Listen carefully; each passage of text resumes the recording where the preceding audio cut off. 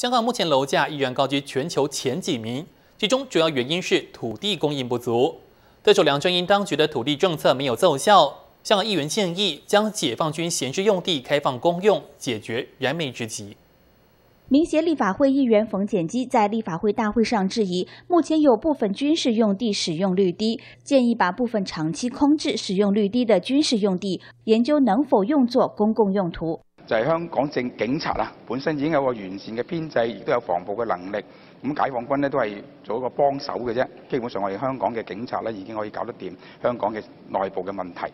咁對一啲即係軍地係使用率低嘅，特別喺市區嘅位置，點解政府唔可以同中央政府傾呢？公民党立法会议员陈家洛表示，当局将解放军码头的零点三公顷用地归为军事用地是误导公众。目前有近两万名市民签名，强烈反对将休憩用地解放军化。新唐人记者林秀怡在香港报道。